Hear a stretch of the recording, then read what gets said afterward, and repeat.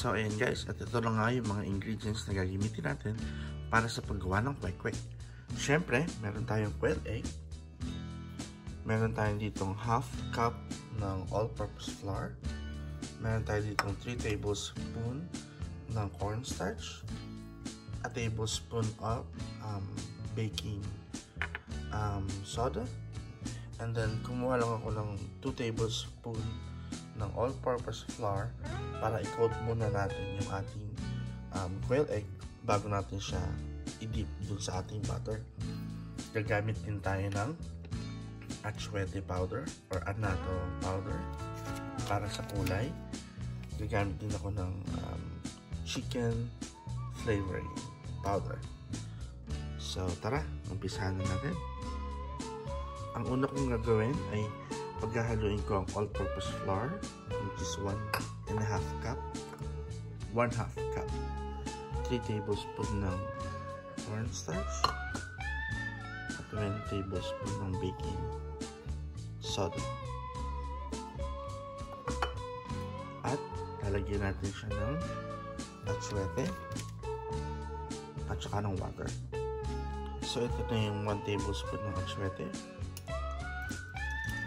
at saka half tablespoon ng chicken powder. Ayan.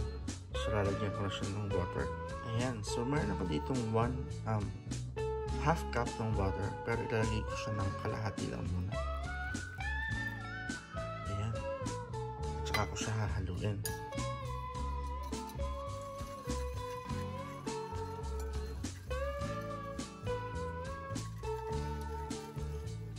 Tapos, tapos siya dadagdagan ulit ng kalahati pa.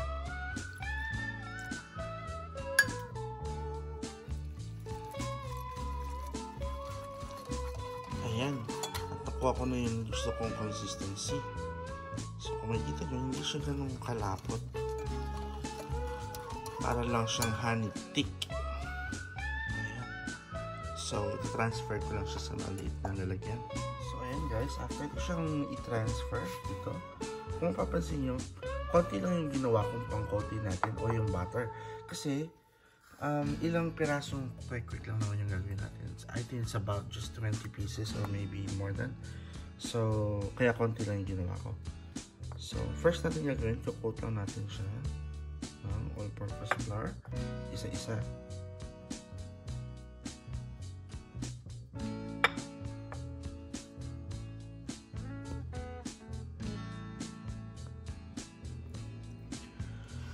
So, ayan. At um, nagpainit na ako ng mantika. At ready na tayo magluto ng ating quail egg. So, didip lang natin siya sa ating butter. Ayan. Yung coated natin na quail egg. And then, make sure lang na well coated siya. Tapos, didip natin siya sa ating lutuan. Ayan.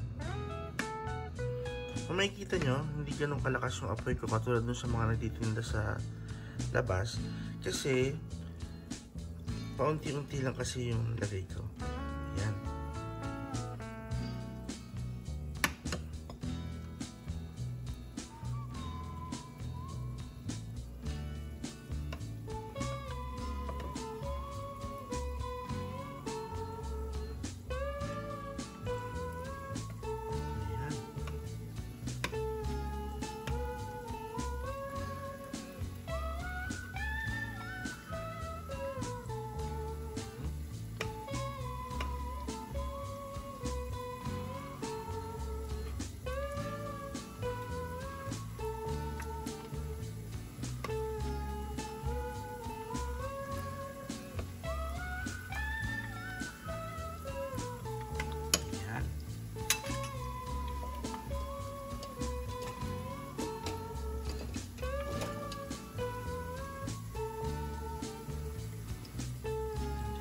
Sila maluto ng gusto.